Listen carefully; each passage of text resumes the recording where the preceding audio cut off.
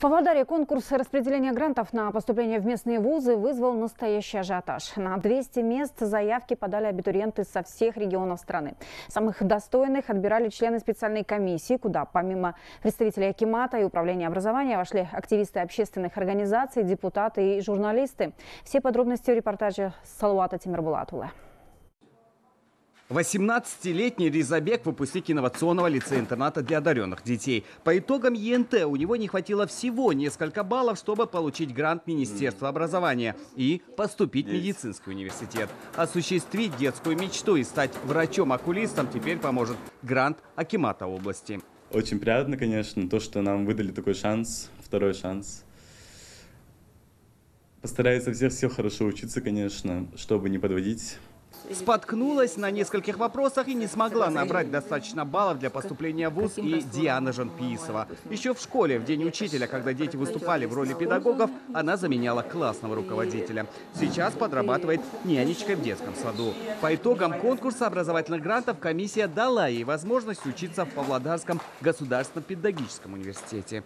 С пятого класса я уже хотела быть учителем химии, биологии. Мечтаю, чтобы хорошо закончить институт и стать хорошим учителем. Решением Акимата в Павлодарской области выделено 200 грантов. Распределение шло с учетом потребностей региона в тех или иных специалистах.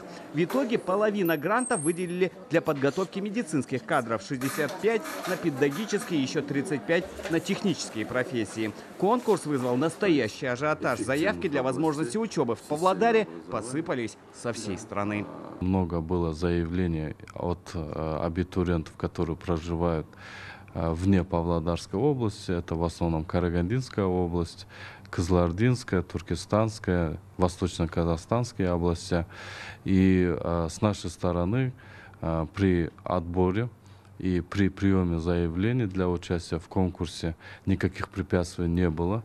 Главное условие – это хорошая учеба и последующая отработка в течение трех лет в Павлодарской области. Все это прописано в договоре. А в случае неуспеваемости студент лишается бесплатного обучения, стипендий и общежития. Кстати, все местные университеты заверили, что иногородних ребят, получивших гранты Акимата области, обеспечат жильем.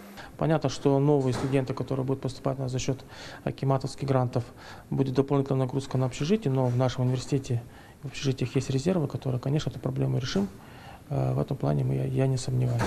Студенты технических и педагогических специальностей будут обучаться в вузах Павлодара, а те, кто хотят стать докторами, поедут в медицинские университеты соседних Семея и Караганды. Отмечу, что больницам Павлодарского прииртышия сейчас не хватает 73 врача.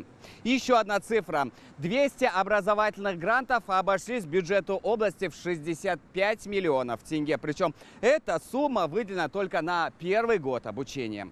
Из Павлодара Салават Семербулатула, Марат Игликов, Самат Аспанов и Алексей Амельницкий. Хабар 24.